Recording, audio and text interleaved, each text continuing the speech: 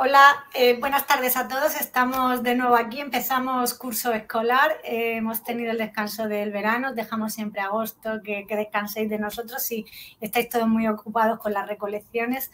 O sea que, es estupendo. Comenzamos el, semestre de, de Synergy Yo soy Lola Gómez, profesora de la Universidad Politécnica de Cartagena, para quien no haya estado antes con nosotros. Y bueno, Hoy empezamos con uno de los nuevos socios que tenemos este año en Synergy. Estamos con, Javier Lodares de, New Holland. Bienvenido, Javier. Hola, buenas tardes, hola. Y bien, vamos a hablar hoy de un tema que, yo considero muy interesante, que, considero que es uno de los, de los pilares de, del en seto, como es la, mecanización de la cosecha. Bueno, que, New Holland tiene mucho, mucho que decir a este respecto.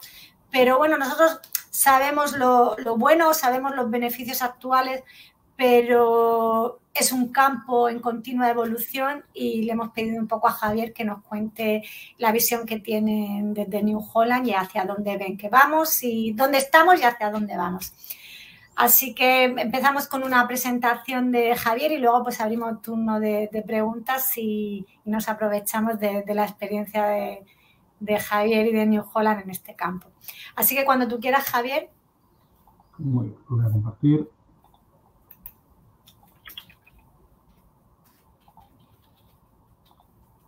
Bueno, pues eh, buenas tardes a todos. Eh, como os ha comentado Lola, soy Javier Lodares, soy el, el, responsable a nivel global de marketing para lo que todos conocemos como vendimiadoras y bueno, pues para, nosotros es un, placer poder compartir con el equipo de Synergy Nats, porque entendemos que, este trabajo con las empresas que veis en el banner debajo de, esta presentación es importante que todos trabajemos de una manera, de una manera conjunta. Lo primero me voy a presentar un poquito más. ¿eh? bueno, soy, como digo, el responsable a nivel mundial del tema de vendimiadoras, pero veis que en el, mi título no pone vendimiadoras. ¿Por qué? Pues porque realmente dentro de New Holland entendemos que eh, la vendimiadora es una parte dentro de, los cultivos leñosos y que poco a poco estamos avanzando muchísimo más en eh, diferentes, diferentes sectores. Por lo tanto, lo que estamos también es haciendo una transición y los que pertenecéis a empresas un poquito grandes entenderéis qué significa este tipo de cambiar los nombres a los puestos, porque entendemos que cada vez más va a ser mucho más importante el dar entrada a todos estos cultivos leñosos e incluso, y os lo iré contando a lo largo de la presentación, a toda la parte de los cultivos especiales, incluyendo algún tema de eh, los vegetales, porque al final también aquí vamos a acabar entrando en temas de robótica, temas de inteligencia artificial, temas de gestión de datos. Bueno, pues poco a poco iréis viendo cómo esto va evolucionando. Me presento yo también. Yo, aparte del título en inglés, que queda como muy pomposo, pues soy de, soy de Cuenca, soy de los Hinojosos, soy manchego. Si está por aquí nuestro, nuestro compañero de, de Agromillora, eh, Gerardo, pues bueno, pues la verdad es que lo llevo, lo llevo con mucho orgullo. Soy ingeniero técnico agrícola por la Universidad de Castilla-La Mancha, estudié en Ciudad Real y compartí clases de maquinaria con un profesor que es Andrés Porras, que me, que me metió un poco toda la ilusión por todo este tema también del olivar. Y a nivel personal, soy viticultor, olivicultor y un apasionado del mundo del vino, ¿vale? Bueno, creo que siempre es importante que le ponemos un puntito personal al, al día a día en lo que trabajamos. En la pantalla tenéis mis datos, con lo cual si cualquier duda, pregunta o tema que queráis hacer, oye, pues estamos abiertos a, hablar con vosotros. Eh, de lo que yo os quiero hablar hoy no solamente va a ser de la mecanización, sino también un poco para, para que entendáis y comprendáis que esto que estamos hablando de la mecanización o de la cosecha, eh, para muchos de, vosotros puede ser nuevo o hay dudas en algunos sectores, pero para empresas como es en este caso en Holland, es realmente una dirección que estamos, que estamos tomando y en la que estamos invirtiendo muchísimo dinero. Os voy a dar una pequeña visión de cómo vemos nosotros el mercado a nivel mundial de los cultivos leñosos, cómo afrontamos la mecanización, cómo hemos entendido de quién se adapta a quién y, bueno, un poquito los sistemas actuales de mecanización, cómo vemos que han evolucionado, ventajas e inconvenientes, no desde un punto de vista comercial, sino desde un punto de vista un poquito más técnico. Y luego os voy a dejar una pequeña píldora, un pequeño, un pequeño caramelo sobre todo lo que estamos desarrollando en cuanto a tecnología y conectividad, porque, bueno, pues ya con Lola hemos hablado que podría ser muy interesante que algún webinar más adelante lo podamos enfocar en esta, en esta dirección. Entonces, os llegaré a hablar un pelín de la telemetría y de lo que hoy podemos encontrar dentro de, dentro de las cosechadoras. ¿De acuerdo? Bueno, pues, ¿cuál es nuestra visión? Lo primero, y además el otro día que habéis estado muchos de vosotros en el tema de, de, Molivo que ha, habido, que ha habido estos días en, en el sur. He leído algunos posts y esta es una de las cosas más importantes que creo que tenemos que tener en cuenta. Y es que cualquier evolución, cualquier mejora, cualquier mecanización que queramos hacer tiene que ir unido a la sostenibilidad. Actualmente todas las compañías, todas las empresas tenemos un firme compromiso con este tema de la sostenibilidad. Aquí os he puesto un ejemplo, bueno, de los 17, porque son 17 compromisos de, de sostenibilidad. Y nosotros trabajamos principalmente en estos ocho. Evidentemente, nuestro objetivo es obtener productos y energías de la manera más sostenible posible. Tenemos que proveer a los agricultores herramientas eficientes, pero respetando el cultivo y la salud. Hay que impulsar el desarrollo con el objetivo claro de ahorrar en energía y luego tener un impacto final y real en el, consumidor o en el, cliente final. Y, por supuesto, reducir en la medida de lo posible el impacto en el medio ambiente. Estos son teorías, pero ¿cómo, cómo lo llevamos en práctica? Yo creo que cada uno de vosotros y en muchas de las charlas que, participamos con, el equipo de Agromillora eh, y con la gente de Azud, es claro lo que queremos poner en, valor de estos sistemas superintensivos. La gente critica de vez en cuando los consumos de agua, pero creo que hay que tener muy en cuenta esa eficiencia a la que nos está llevando este tipo de, este tipo de cultivos. Nosotros, dentro de, nuestra, dentro de nuestro trabajo, por ejemplo, pues implementamos sistemas en las máquinas que nos permitan consumir menos agua a la hora, a la hora de, lavar. Estamos investigando para que todos los consumibles sean reciclables o estamos implantando dentro de la fábrica un sistema por el cual reciclamos el 100% del agua, que el 95%, disculpadme, del agua que utilizamos. En los últimos años hemos podido ahorrar ya cerca de 47 millones de litros. Entonces, esto creo que es muy importante que lo tengamos en cuenta cualquier movimiento que hagamos de mecanización, desarrollo de las máquinas, nuevas tecnologías, conectividad, tienen que ir orientados y dirigidos a cumplir con esos objetivos de sostenibilidad de cara, al futuro. También tenemos que estar dispuestos con esta mecanización a modificar algunas de las cosas o de las costumbres o de las creencias más típicas que hemos tenido toda la vida. Eh, yo me acuerdo que una de las reuniones con, con Jordi Mateu decía que para que esto se desarrolle es imprescindible que estemos las tres, eh, los, tres pilares ¿no? Dentro de estas, de estas nuevas, eh, de este cambio, que serían este desarrollo de nuevas variedades, que no solamente lo vemos en almendro, lo conocemos de hace más de 25 años en, el olivar, pero también nos están llegando el, pistacho, nos está llegando la avellana, nos están llegando muchísimos nuevos eh, cultivos donde estas nuevas variedades nos están permitiendo empezar a hablar de la mecanización. La mecanización, que si no tenemos esa máquina, bien sea para recolectar, o bien sea para podar, o bien sea para cualquier otra labor, no tiene sentido llegar a estas nuevas variedades. Y, por supuesto, toda la parte de la agronomía. Al final, tenemos que modificar la manera en la que estamos podando, la manera en la que estamos regando o en la manera en la que estamos, en la que estamos fertilizando. Entonces, estos tres pilares para nosotros son críticos y son los elementos básicos para que nos podamos implicar dentro de, dentro de este cambio. Pero ¿por qué una empresa como New Holland o por qué inversores o empresas como muchos de los que estéis conectados vamos a invertir? Bueno, pues algún dato curioso, ¿no? Que el cultivo del leñoso es ocho veces más rentable que el cultivo del trigo. A nivel mundial hay en torno a 55 millones de hectáreas de cultivos leñosos que están produciendo, a grosso modo, unos ingresos de unos 196 billones de dólares. Por contra, tenemos el trigo, que quintuplica en, superficie, pero los ingresos generados estamos hablando de 110 billones de dólares. Es decir, entendemos que, y luego hablaremos de rentabilidad, una de las claves de este movimiento es ir hacia cultivos que nos van a ofrecer muchísima más rentabilidad. Estos cultivos que nos van a dar mucha más rentabilidad tienen unas tendencias que son muy eh, positivas y hay eh, elementos pro, lo he llamado así, a esta mecanización y a esta intensificación de cultivos, pero también tenemos que tener en cuenta una serie de retos que tenemos que afrontar a la hora de gestionar este tipo de, este tipo de, plantaciones y no los podemos dejar de lado. Evidentemente, en la parte positiva, todos conocemos el aumento de la necesidad de alimentación que va a haber en el mundo en los próximos 50 años, la escasez de mano de obra. Tenemos que trabajar en esta mecanización eficiente donde hagamos un ahorro de las energías y luego la calidad, la madurez, el momento óptimo de recolección.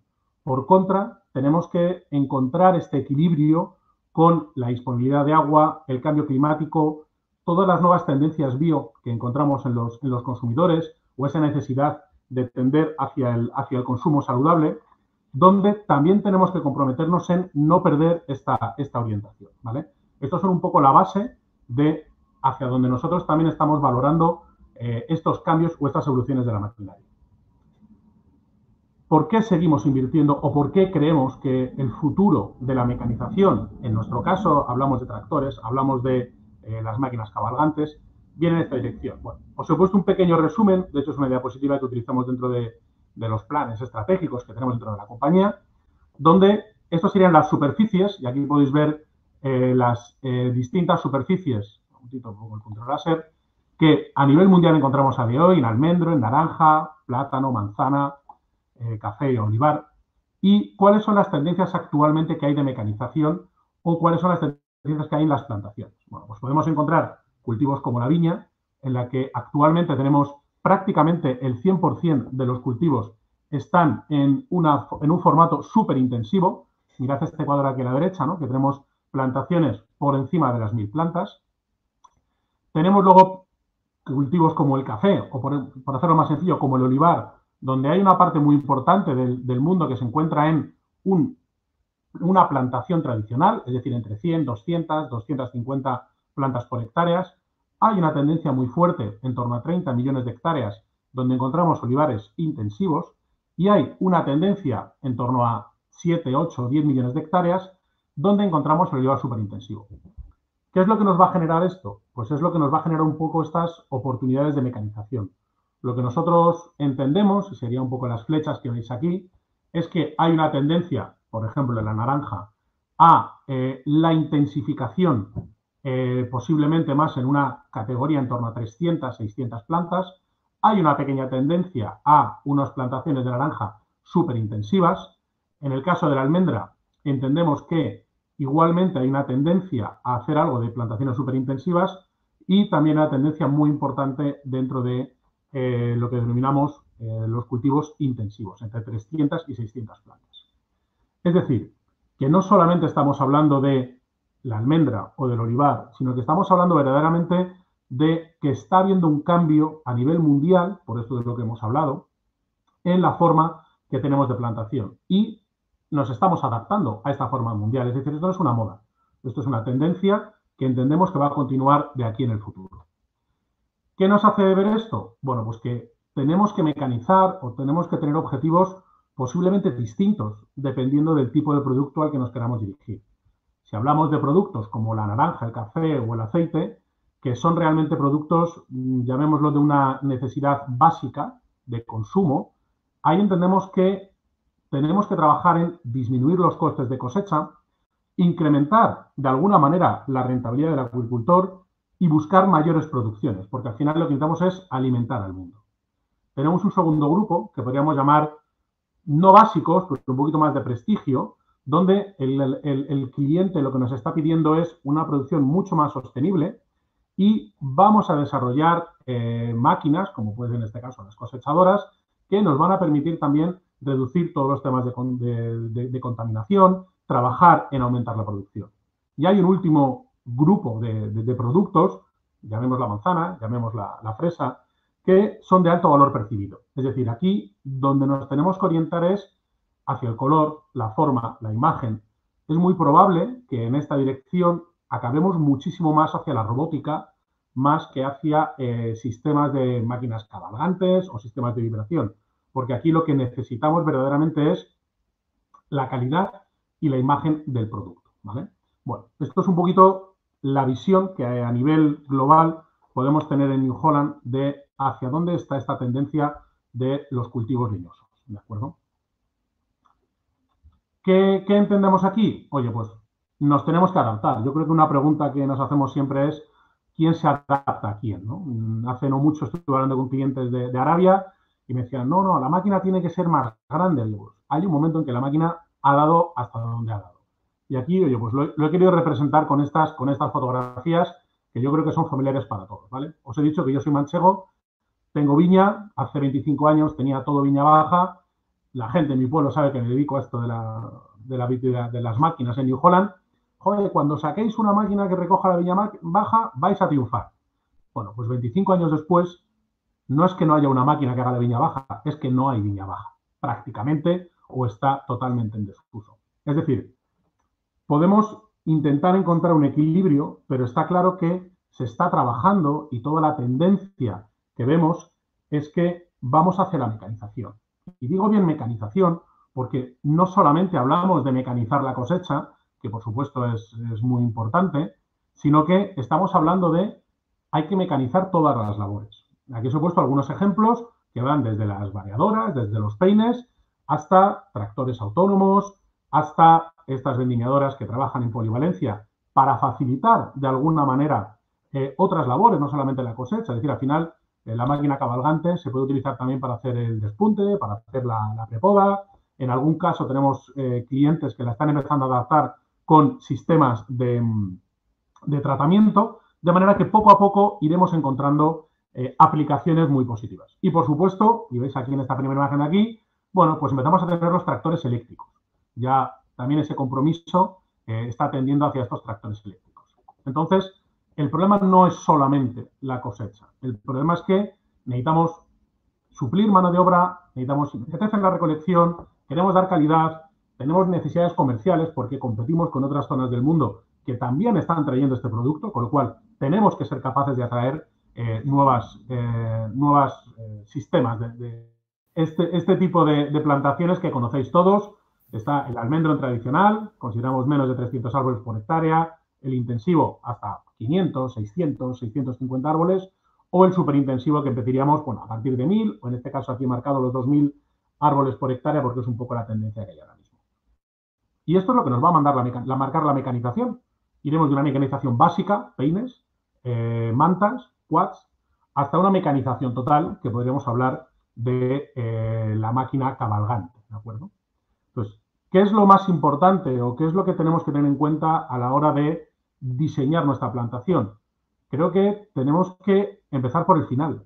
Es decir, dependiendo de cómo vamos a querer recolectar, así vamos a tener que disponer nuestra parcela. Es decir, nos va a afectar la orografía. Si tenemos pendientes del 20 o 20 y pico por ciento, tendremos que tener en cuenta cómo lo vamos a recolectar, porque hay maquinaria que no es capaz de superar este tipo de, pendientes. El vigor que va a tener la planta, los momentos de entrada en producción, eh, cómo vamos a podar. Esto nos va a definir totalmente cómo vamos a recolectar la, almendra, nos va a definir posiblemente muchos de estos elementos. Eh, al final, la mano de obra, el momento de recolección, los costes de producción, muchas cosas las va a definir con qué lo vamos a cosechar. En este caso, os he querido poner aquí como dos ejemplos, ¿no? Oye, pues una parcela perfecta, toda rectangular, todo perfecto, sin pendientes, o una parcela que, como muchas de las que tenemos, pues al final tienen cornijales tendremos que tener en cuenta a la hora de diseñar nuestra parcela la longitud de los hilos, porque no es lo mismo una descarga en continuo que una descarga con tolvas o una descarga si tenemos que utilizar unos quads o una carretilla, ¿no? Para poder entrar y salir del hilo. En la facilidad de esta descarga, si lo hacemos en continuo y no hay espacio para pasar una carretilla, pues no vamos a poder entrar. Maniobrabilidad, y aquí os voy dando ya alguna idea. Bueno, pues una máquina autopropulsada necesita, o cabalgante, en torno a 6 metros en cabeceras para dar la vuelta, mientras que una máquina arrastrada necesitará entre 10 y 12 metros, el sistema side by side que conocemos eh, unos 10 metros o el sistema americano en torno a esos 10 metros. Pues esto nos va a marcar mucho cómo vamos a trabajar, porque si no al final tendremos que arrancar algún árbol. Y luego lo que os comentaba de la pendiente. He intentado sacar información, algunas que nosotros conocemos directamente, otras, oye, si alguien sois más expertos, luego me corregís, pero bueno, pues el sistema americano no permite pendientes de más de un 10%, la arrastrada, dependiendo de algunas circunstancias o del tractor que le pongamos, estaría en torno al 12-15%, a grosso modo. Las máquinas side by side, dependiendo si consideramos el sistema, llamémoslo de tenías, o el sistema de poner lonas a cada uno de los lados, pues también tiene algo de limitación, en torno a un 15%, y la máquina autopropulsada cabalgante, actualmente, con los últimos modelos que están en el mercado, pues te puede permitir hasta unas pendientes del 28%, ¿vale? ya tenemos una información importante a la hora de diseñar nuestra parcela. Si tenemos unas pendientes muy grandes, pues tendremos que decidir hacia qué nos vamos a orientar o cuál va a ser el sistema que nosotros nos vamos a traer. ¿De acuerdo? ¿Algún otro dato que creo que puede ser importante y que puede ser de valor para vosotros? Bueno, si tenemos un sistema tradicional, la altura del árbol no va a influir, porque de alguna manera podemos decir que es un árbol libre. Si vamos a trabajar en un sistema intensivo, el tipo de maquinaria, si estamos pensando en el, modelo de, de, tenías, hablaríamos de unas alturas de árbol como máximo de 5 metros, 5 metros y algo. Si optamos por el superintensivo, aunque nos lo va a limitar el marco de plantación, porque siempre hay una correlación entre el marco de plantación y el sombreamiento, estaríamos hablando de que tenemos que dejar una altura de árbol no superior a 4 metros, ¿de acuerdo? Sabéis que en olivar se llega algo más porque la rama es más flexible, pero en otros cultivos leñosos, como es el caso del almendro, bueno, pues corremos el peligro de eh, dañar o de no hacer una buena, una buena recolección. El ancho de la copa, lo mismo en el tradicional, bueno, vendrá definido un poco por el tipo de maquinaria que utilizaremos. En el intensivo, lo mismo, va a venir condicionado por la máquina que tiene que entrar entre, entre los hilos. En cambio, en el superintensivo, dependiendo del tipo de maquinaria que estemos trabajando, iremos a anchos de copa, pues como, como mínimo, por supuesto hay que hacer más de 60 centímetros, pero no deberíamos pasar de 1,2 metros, ¿de acuerdo? Que sería lo que actualmente entendemos que hay en el mercado y que es lo que nos va a permitir entrar con una zona rígida. Si luego tenemos más ancho de copa, pero que es flexible, la máquina, por supuesto, adaptará estas ramas dentro de la máquina para poder entrar. La poda, bueno, pues los distintos sistemas de poda que conocemos todos, el sistema tradicional, bueno, pues te va a definir una poda, llamémosle corta. En el intensivo, todos conocemos la tendencia que hay actualmente con el tema de la poda aragonesa o una poda larga, donde están buscando también poder hacer un, un volumen continuo de masa foliar y si entramos en el superintensivo, bueno, pues hay que entrar evidentemente con podas de formación y con temas de topping para que eh, no se nos superen estos cuatro metros y ahí vamos a condicionar totalmente el desarrollo del árbol. Caballón. Bueno, pues esto es un tema muy importante. Hay en algunas fincas donde se utiliza caballón. En el sistema tradicional, bueno, pues eh, se utiliza caballón o no se utiliza caballón, pero esto no afecta. En el sistema intensivo hay que tener en cuenta con qué vamos a querer trabajar. Un sistema americano posiblemente no afecta. Si utilizamos algunas máquinas de side by side, posiblemente podamos tener algún tipo de compromiso a partir de los 30-35 centímetros. Es verdad que con el sistema de escamas no siempre te va, a llevar a esta limitación, pero hay que tenerlo en cuenta. Y en la parte superintensivo, claro, yo os puedo decir que una, que una recolectora cabalgante puede subir perfectamente 80, 800 milímetros, pero también nos va a limitar después la altura del árbol. Es decir, si tenemos un cabellón de 80 centímetros, la máquina lo va a superar. Pero ten en cuenta que luego vamos a tener el árbol que habrá que quitárselo por algún sitio, porque la máquina al final tiene una limitación física, ¿vale? Y el tronco libre. También eso es un tema muy importante y de hecho al inicio de algunas plantaciones tuvimos algunos problemas porque eh, la zona libre o la primera formación pues nos limitaba algunos trabajos. En general podemos pensar que tanto en tradicional como intensivo, para poder utilizar el vibrador necesitaremos unos 90 centímetros y en la parte del superintensivo, para que pueda entrar por abajo la máquina y pueda recoger con una cierta calidad, necesitaremos al menos 60-70 centímetros, que es lo que las máquinas están pidiendo actualmente. ¿Qué tipo, de ¿Qué tipo de recolección se adapta a cada intensividad? Bueno, pues aquí he intentado poner, oye, pues hasta los 300 árboles, vibrador, paraguas, tipo buggy, bueno, pues son sistemas de plantación donde esta recolección se va a adaptar perfectamente. El sistema americano nos va a permitir llegar hasta los 750, 900 árboles por hectárea, porque luego si no nos va a comprometer la maniobrabilidad dentro de la, dentro de la explotación. El sistema side by side, pensando en sistema tenías, eh, básicamente ellos mismos lo recomiendan hasta unas 500 plantas por hectárea y la máquina cabalgante le pasa lo contrario, no puede trabajar en, eh, en, plantaciones de menos de, digámosle, 1.000, 1.200 árboles, porque el tamaño del árbol, el desarrollo del árbol, va a impedir que la máquina pueda trabajar de una manera correcta. Y esto nos va a llevar a poder eh, absorber hasta en torno a los 3.000 eh, árboles por hectárea, que es lo que más o menos conocemos. Hay que tener en cuenta otras consideraciones. Oye, pues el sistema tradicional nos va a permitir una serie, tiene pocos costes de implantación, es un poquito más costoso en cuanto a eh, la mano de obra, porque te hace falta el vibrador, el paraguas, el quad. Es decir, vamos a tener una serie de, elementos que nos, van a, que nos van a condicionar.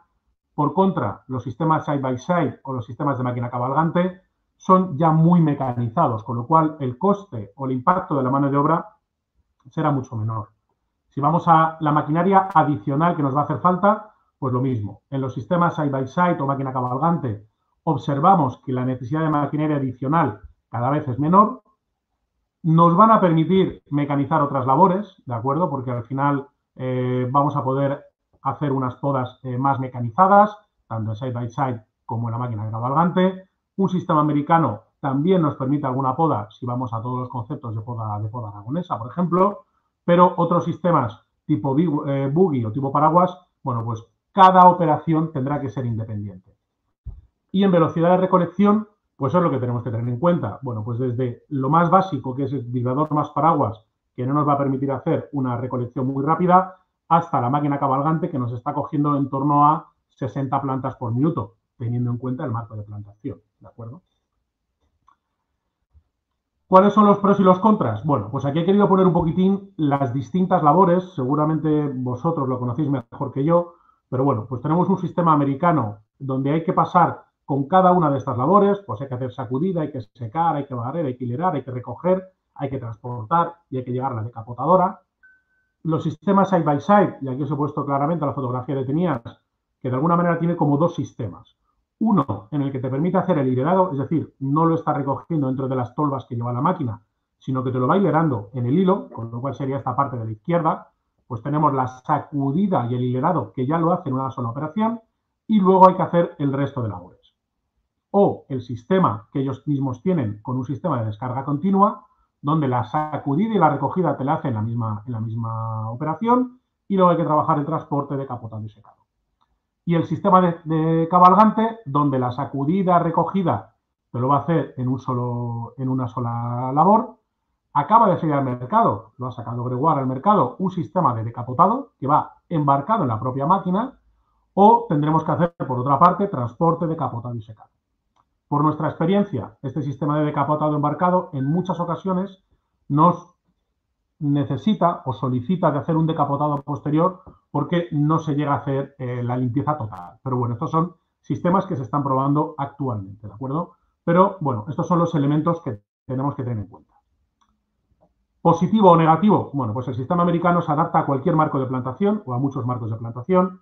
Simplifica la cosecha para las diversas maduraciones, porque oye, si viene un momento complicado, tiramos la almendra al suelo y luego pasaremos a recoger. La velocidad de recolección es igual que lo que tendríamos con los vibradores y el sistema de operación es bastante sencillo. Al final es un tractor tirando de máquinas. Por contra, al final pasamos cuatro, cinco o seis veces, con lo cual puede haber una compactación de suelos, hace falta mucho personal, mucha maquinaria, hay que preparar los suelos y se compromete con toda la parte de la orografía. Y hay un punto, no voy a entrar mucho en detalle, pero que también hay que tenerlo en cuenta, y es un poco, hay una tendencia, lo llaman los americanos el zero dust, que hay un compromiso porque el problema del sistema americano, en, Europa o en España no es tan grande, pero en Estados Unidos es un tema muy crítico, bueno, pues hay unos problemas de contaminación muy importantes. Entonces, también hay una tendencia, un compromiso por parte de las asociaciones, en este caso americanas, para reducir de alguna manera eh, este volumen de polvo, porque en general están volviendo a levantar al medio ambiente eh, muchos de los, eh, de los tratamientos que han aplicado en suelo, con lo cual esto es un tema, bueno, que yo creo que hay que tener en cuenta dentro de estos conceptos de sostenibilidad que hemos hablado al principio. El sistema side by side es más rápido, una velocidad de recolección de hasta 6 árboles por minuto es más rápido versus el vibro, es más lento versus la máquina cabalgante. Sencillez de operación, costes de operación, es un motor pequeño que trabaja en continuo, con lo cual no tiene un coste muy alto y le da estas posibilidades de llegado más barrido o tolva más transporte. Por contra, te limita el número de plantación por el tamaño de la propia, de la propia máquina, hay unas limitaciones en pendiente y hay que hacer una preparación del suelo y tener en cuenta si vamos a transportar la máquina entre parcelas, cómo esto nos puede afectar. La parte del sistema cabalgante, la recolección, ahora estamos llegando a unos 4 kilómetros por hora, hablamos de 60 árboles por minuto, Sencillo, una vez que conoces la máquina, costes de operación bajos, es el sistema más económico, una sola persona y además hay un respeto por el árbol. Por contra, bueno, pues el coste de implantación del sistema superintensivo es más caro, los costos de adquisición de esta maquinaria son bastante más altos. Yo aquí he marcado porque no tiene decapotadora, como os decía, está empezando a salir al mercado alguna máquina que ya tiene esta decapotadora y por contra, pues no te permite esta recolección escalonada que comentábamos del sistema americano.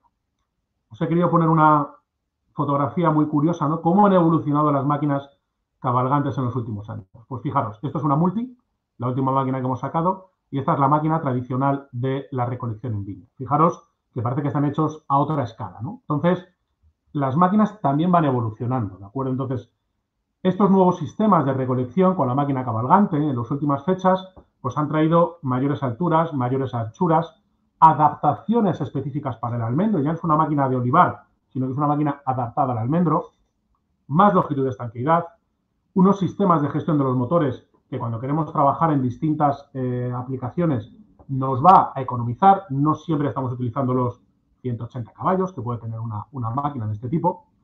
Han crecido en altura, es decir, las primeras máquinas llegaban a luz libre de 280, actualmente estamos hablando ya de luz libre de 330 y la longitud estanca, que es lo que nos va a definir la velocidad de recolección, se ha ido aumentando. Es decir, actualmente, y podéis ver, esto sería eh, una, vista superior de lo que es una, una, recolectora, una máquina cabalgante.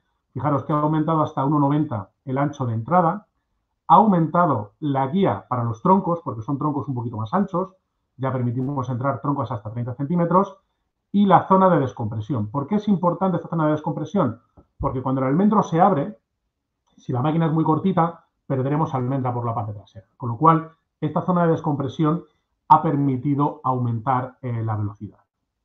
Os quiero enseñar también que esto que estamos viendo a día de hoy, pues ya no es tan, no sé si va a lanzarse, ya se está empleando en otros tipos de recolección de leñosos. Estamos trabajando en manzana, estamos trabajando en pera, es decir, estamos trabajando en muchísimos otros eh, cultivos. Es decir, esto es una tendencia. El cultivo leñoso ha llegado para quedarse. Los sistemas superintensivos entendemos que es hacia donde tiende la mecanización total y creemos que es en esta dirección en la que nos estamos moviendo. Lo que os decía, os dejo únicamente una píldora. ¿Qué nos va a traer el futuro? Bueno, pues actualmente aquí veis un mapa, ¿no? Un poquito de las máquinas. Aquí están mezcladas viña y olivar pero hay un control total. El agricultor puede tener un control total de dónde está la máquina, nos puede avisar de incidencias. Estamos trabajando en la detección preventiva de averías, es decir, si la máquina tiene una temperatura, está en esta pendiente y ha subido la temperatura del aceite, os podemos enviar un sistema de alerta diciendo, señor, pare usted la máquina porque vas a tener un problema en breve. En esta dirección es en lo que nos estamos moviendo. Que el agricultor que las grandes flotas tengan un control total de dónde se encuentra cada una de las máquinas, de cuántas veces han descargado, de cuántas horas tiene el motor, de cómo se encuentran los sistemas de urea. Es decir, vamos a trabajar en que este control de esta mecanización cada vez sea mayor. Y una cosa que vamos a presentar en, eh, en en noviembre, es que entendemos que al final vamos a acabar trabajando en un ecosistema. Es decir, al final pasamos en varias ocasiones por, la, por el almendro, pasan tractores, pasan cosechadoras, pasamos con un buggy y podemos coger muchísima información. Entonces, al final, hacia donde estamos yendo es que la propia máquina, el propio tractor, con esta capacidad, esto que os decía de la inteligencia artificial, los datos que podemos encontrar, nos va a dar mucha información y nos va a permitir predecir enfermedades. Es decir, si mi tractor está pasando va haciendo fotografías, identifica que la hoja ya empieza a estar con algún problema, nos puede preavisar de algún tipo de enfermedad que podemos tener en el almendro, ¿de acuerdo? Este sistema lo tenemos bastante desarrollado para toda la parte de la viña y, por supuesto, luego se irá heredando para otro tipo de cultivos. Como decía, solamente quería dejaros un poquito el caramelo para que podamos preparar en un futuro el, el siguiente, el siguiente webinar y para mí un poquito la conclusión, ningún sistema es mejor ni ningún sistema es peor. Creemos que eh, la mayor rentabilidad la vamos a encontrar en los sistemas superintensivos. Eh, cada vez más encontramos que eh, se van adaptando más cultivos y las máquinas, la misma máquina es capaz de hacer diversas operaciones, pero lo más importante es que a la hora de plantear la plantación, vosotros conocéis cómo es vuestra parcela, vosotros conocéis las necesidades y sois los que tenéis que definir cómo voy a recolectar, qué necesito y así acabaré definiendo un poquitín el sistema de plantación o la intensividad en la plantación que voy a hacer del, almendro. ¿vale? He intentado no extenderme muchísimo, Lola. Siempre que ya me lo dijiste tú, que se me iba, se me iba a pasar el tiempo. no, no, no, has estado perfecto, vamos. Yo cuando vi la presentación dije, veremos a ver, pero no, no, muy bien. Y la verdad que... Dejo de compartir Si, te parece. Sí, sí, sí, mejor. Eh, perfecto, porque la verdad es que muy interesante y y el, un poco el barrido que has, que has hecho de todos los sistemas y, realmente, bueno, pues cada uno con respecto a sus características pues puede elegir un sistema u otro, un sistema de recolección que por supuesto va asociado al sistema de cultivo. No, no, no podemos hombre, ponernos a, a, coger en seto con otro sistema, pues, pues es, desperdiciar. Es un poco lo que quería transmitiros, que a veces la gente nos dice, oye, ¿por qué no puedo entrar aquí? ¿Por qué no puedo entrar allí? No, es que la máquina cabalgante o el side by side o el sistema de americano está pensado con una finalidad. Entonces, que adaptar esta plantación al sistema con el que vamos a trabajar, no solo la cosecha, la mecanización. Por eso, este concepto un poco de la mecanización total que creo que es haciendo tenemos que, haciendo tenemos que, mm. Claro, no, no, totalmente. Yo siempre lo digo y, yo estoy en, este sistema, en esta plataforma, eh, por el tema de la sostenibilidad y la eficiencia. Entonces, eh, vamos a una mecanización total, ya la tenemos y, y la tecnología está madura. Entonces, cuando la tecnología está madura y se puede utilizar, eh, hay que referir todos los números a insumos eh, por kilo y hay que ver mm, dónde es más eficiente. O sea, no, no, no. Eh, critican el sistema por consumo de agua por consumo ya, pero cuando lo llevas al consumo por kilo por unidad, llámalo kilo, llámalo productividad, ahí es donde creo que tenemos que insistir y hacer ver a, la sociedad o a, los, gobiernos o a las personas que tienen que tomar las decisiones que son los sistemas más eficientes. Y ahí es donde tenemos que darnos estos conceptos de sostenibilidad. Para mí ese es un poco la clave y por eso he empezado así el webinar, porque creo que la clave de todo tiene que ser trabajar en la sostenibilidad. Y claro, y el factor escala es, importante porque si tú consigues con una tecnología ahorrar el 2%, cuando lo llevas a esta escala de kilos, es mucha cantidad. Entonces, y luego no nos, no nos olvidemos de que cada vez hay menos tierra y estamos eh, teniendo mayores producciones por hectárea. Entonces, al final, eh, abocamos ahí. Y por supuesto, totalmente opinable, pero, pero eh, tu, temática, que es el tema de la mecanización, es uno de los factores más importantes que tenemos, porque la mano de obra es un problema. Estas máquinas lo que nos están permitiendo es, en la viña ya lo conocemos, entonces hay muchos temas que ya estamos heredando, llámese de la viña, llámese del olivar, y la velocidad de mecanización del almendro está viniendo un poquito más rápida que lo que ha venido en otros cultivos. Yo me acuerdo en los años 2000 o final de los 90 que empezamos con el olivar y ahora ha venido todo mucho más rápido. Entonces, yo creo que, esto es así. Nosotros estamos adaptando las máquinas para lo que os decía, para poder hacer el topping con la propia, con la propia cosechadora. El otro día hablaba con un, con un cliente nuestro que le acaba haciendo 800 hectáreas al año la máquina. Esa es la clave. O sea, yo creo que hay que rentabilizar un poquito, un poquito tema. ¿vale? Y yo había, había un tema que, sí que quería remarcar, que cuando tú haces una recolección en poco tiempo, tú consigues una homogeneidad de tu producción muy grande. Eh, tú puedes decir, eh, el, producto que he sacado de esta finca eh, tiene estos parámetros de calidad. Hmm. Cuando tú esa recolección la haces en una semana, en cinco días, o bueno, según tu extensión, tu calidad cambia. Entonces, eh, eh, yo eso también lo veo muy importante, la homogeneidad del mercado y la calidad del producto. Claro. Todo también lo que estoy comentando al final, uno de los elementos que al final va a acabar llegando es un poquito esa trazabilidad. Es decir, eh, este ecosistema del que os he hablado al final, pues al final acabaremos teniendo un blockchain donde yo podré garantizar que esta almendra ha sido recolectada en España en este momento, con esta humedad, con estas características en esta parcela y recogida por Javier Lodares. Esto es un poco ese ecosistema del que hablamos, que no solamente hablamos de yo recolecto y lo saco, sino que va a llegar un momento en el que la propia máquina, la propia mecanización, las distintos, llámese tractores o, recolectoras, te van a dar toda esta información. ¿vale?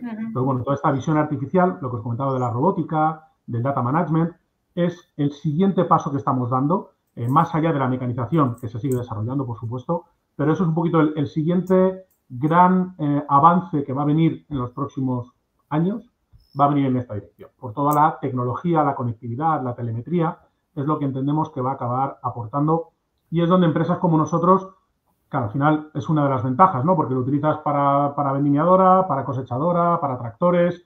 Habéis visto, bueno, habéis visto una de las imágenes, es un tractor autónomo, pues ya empezamos a tener soluciones autónomas, ¿no? Entonces, bueno, pues toda esta inversión que se está haciendo desde New Holland, al final acaba recayendo en todos los productos. Y aunque en el mundo de, la, de la, o de la máquina cabalgante el volumen es pequeño, heredamos muchísimas eh, cosas de, eh, bueno, pues comento de cosechadoras, de construcción o de alguna de las otras líneas de producto que como New Holland tenemos a nivel mundial. Claro, es que las tecnologías hay que apoyarse en ellas. Yo a mis alumnos les digo, porque una fábrica de tornillos entendemos que esté totalmente robotizada y con, y con todos los, los elementos tecnológicos y, la parte de producción alimentaria no. Hay que, hay que cambiar el paradigma, o sea, hay que, hay que sumarse. Pues ya tenemos preguntas. Sí, ya tenemos preguntas, Javier. Nos preguntan primero Antonio eh, Salcedo que está New Holland desarrollando el, descapotado incorporado a la cabalgante y si es así, ¿para cuándo puede estar en funcionamiento? Eh, lo, hemos mirado, o sea, no, no os voy a engañar, tampoco os voy a contar toda la estrategia de la compañía, pero bueno, lo hemos mirado. El, el problema o la situación está que al final nosotros estamos abogando también por hacer máquinas multi, multicrop, es decir, que nos puedan permitir amortizar las inversiones, ¿de acuerdo? Cuando tú le pones una decapotadora a la máquina, de alguna manera reduces la velocidad de la máquina. En nuestro caso, desconozco eh, lo que os comentaba, Gregoire, no, tengo información sobre, sobre sus datos. Posiblemente reduces un poco la capacidad de la tolva. Entonces, al final, si luego yo esta máquina quiero utilizar para viña o para olivar, que veo que hay alguna pregunta en esta dirección, podemos comprometer alguno de los otros elementos. Lo estamos mirando. También os puedo decir que lo que habíamos mirado, la calidad del decapotado nos estaba llevando a un 50, 55 o 60% en este decapotado. Hemos hablado con personas que, os dedicáis, que se dedican al tema de la almendra. Bien, ya, entonces luego la tengo que volver a pasar por una decapotadora tradicional. Sí. Entonces, ¿qué me estás aportando? ¿Vale?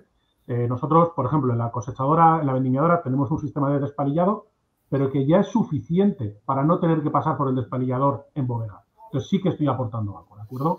En este caso, los estudios que tenemos hasta ahora es que no nos están aportando el 100% o el 90 o el 92% de calidad y luego que los volúmenes al final pues tampoco son enormes, porque al final la máquina que está trabajando en almendra es la misma que está trabajando posiblemente en oliva, ¿vale? Entonces, se está mirando, no hay nada desarrollado y no tenemos una fecha para poder sacar un producto así al mercado. Vale, perfecto. Bueno, nos preguntan por coste. Di lo que tú quieras de coste, porque imagino que dependerá de todo. Y lo que sí que hay quizá el coste anual de mantenimiento y el coste estimado, incluido eh, la mano de obra de recolección por hectárea. Eh, no sé si tienes, manejas estos datos. A ver, yo, yo manejo los datos de lo que cobran muchos de nuestros clientes, pero esto varía por zonas, varía por mercados, varía por países con lo cual es complicado poderos dar, poderos dar un dato. Eh, los costes de estas máquinas, bueno, pues tienes desde máquinas arrastradas que pues, pueden estar en torno a los 200, 250 mil euros, hasta máquinas autopropulsadas que el precio del mercado está por encima de los 450 mil euros. ¿vale? Entonces, bueno, por, por, eso, y tú antes lo decías, no, no sé si es mucho o poco dinero, posiblemente mucho dinero, pero posiblemente no es caro. Es decir, cuando esto lo traducimos a qué me está aportando. Es decir, si yo con mi máquina soy capaz de hacer 60 árboles por minuto, es decir, que en un día me estoy llevando 7, 8 hectáreas de trabajo, ¿qué me está aportando esta, esta, esta, esta tecnología o esta mecanización? ¿vale? Entonces, es el punto en el que yo veo. Si esto luego lo llevamos a coste por kilo de almendra recolectada, el sistema más económico es el superintensivo con máquina cabalgante autopropulsada. Totalmente.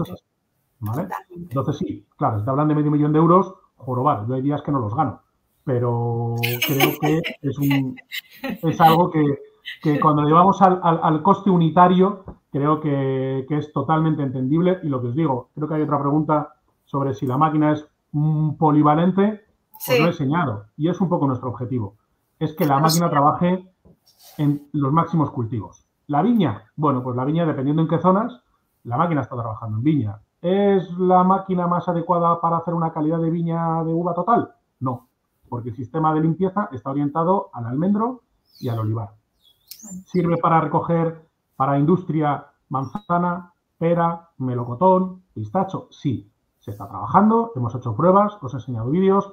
En febrero de este año en IFAPA se hizo una demostración de naranja, la máquina trabajó. Evidentemente tienen que ser plantaciones adaptadas. En el IFAPA en este caso es un campo de, ensayo y la máquina trabaja bien. Claro, si metes la multi en un campo tradicional de naranjo, pues la máquina no trabaja, absolutamente no. Entonces sí, de hecho, ese es el concepto, multi, multicrop. Y en esta dirección es en la que la estamos desarrollando, que pueda valer para cultivos leñosos. No hablamos de olivar, no hablamos de almendro, adaptamos a algunos eh, cultivos, como es en este caso del almendro, y la intención es que nos pueda durar durante varias cosechas. Es decir, si soy capaz de hacer almendro y oliva de mesa y olivar de tal, oye, pues si tengo la máquina trabajando cinco meses, pues mejor que uno, ¿vale? Está claro que tenemos en este, en este sentido con esta máquina. De todas maneras, también la tendencia normal es que haya empresas de servicios que den eh, que, alquilen la máquina para las recolecciones. Entonces, eh, que eso es lo que suele haber eh, en muchas zonas. O sea, que un pequeño agricultor podría poner eh, y no comprar esta máquina y alquilar o... Correcto. O sea, lo que nosotros encontramos es que en la viña tienes un 40-50% de agricultor particular, 20% de agricultor de, bodega y un 30-40% de maquilero. Cuando venimos al olivar o a la almendra, el 95% son flotas, son eh, maquileros o son grandes empresas que tienen extensiones importantes, pero siempre en todo momento lo que dices es accesible a cualquier agricultor porque estas empresas de servicios es a lo que se dedican, es a tener la máquina, hacer la inversión grande y rentabilizarla. un agricultor que tenga 30 hectáreas, pues evidentemente nunca le va a sacar partido a este tipo. Está claro. Nos, dice también Alfredo que si puedes hablar más de cómo trabajan las máquinas en terrenos con elevada pendiente y arcillosos, con problemas para recolectar con humedad, etcétera. Claro, de las máquinas pues cabalgantes, dice.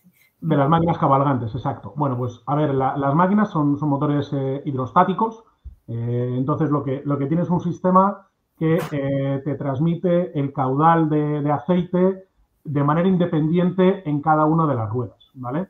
Entonces lo que te permite es, en todo momento, tener tracción en, todo, en todos los neumáticos. Incluso tiene un sistema para, para evitar el cabeceo de la máquina, es decir, en un momento en que lleves mucho peso detrás, la máquina en ocasiones nos está cabeceando y lleva unos sistemas para poder eh, priorizar o eh, definir que quieres dar más caudal para dar mayor tracción en algunos de los neumáticos para poder eh, superar estos, estos problemas que podemos tener dependientes, ¿de acuerdo?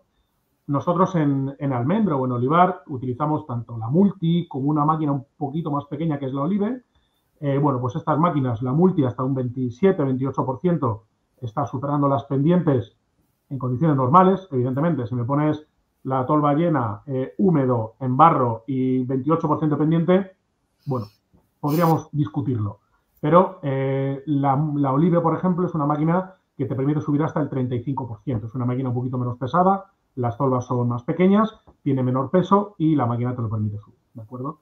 Entonces, bueno, es el sistema de la transmisión que eh, son hidrostáticos y lo que te permite es optimizar al máximo el caudal del aceite en cada uno de los momentos en los que podemos estar pidiendo a la máquina este, este trabajo. ¿vale? perfecto. Tania nos pregunta que cuántos metros de giro requiere la multi. Eh, por ejemplo, en arándanos para la cosechadora cabalgante se requieren lo menos 5 metros de giro. A ver, si estás hablando de, de, arándanos, muchas veces no estamos empleando la multi, estamos empleando máquinas un poquito más pequeñas máquinas que llevan en la parte delantera un sistema de elevación para poder preparar este, este producto. Hablaríamos a lo mejor de un 90-70, un 90-90, pero en cualquier caso, 5 metros, 6 metros eh, son los espacios mínimos que se necesita para no andar haciendo maniobras. O sea, decir, si quieres hacer cuatro maniobras, bueno, pues le dejas dos metros y, el operario tendrá que trabajar, ¿no? Pero al final también necesitas unos espacios para que la máquina descargue, para que pase un tractor, para que haya un remolque. Nosotros en la multi recomendamos 6 metros. En máquinas un poquito más pequeñas, es verdad que con 5 metros eh, es suficiente, pero sí, es importante dejar el espacio en cabeceras. Y luego uno de los temas que os he comentado, la longitud de los hilos. ¿Veis? Aquí detrás, detrás de mí, perdonad, una máquina con un brazo de descarga continuo. Tenemos que tener en cuenta esto. Es decir, si tenemos hilos muy largos, producciones muy importantes, tendremos que tender a máquinas, que cualquiera de estas máquinas puede disponer de ello, de descargas en continuo, porque si no, vamos a dificultar mucho también estas operaciones. Y también Tania nos pregunta si, si habéis visto diferencias según variedades en el trabajo con, la cabalgante. A ver, eh, más que diferencias en cuanto a variedades, que sí los puede haber, sobre todo por la variedad, si es más leñosa, menos leñosa, más rígida, menos rígida, el porte vigor, etcétera, que por supuesto impacta.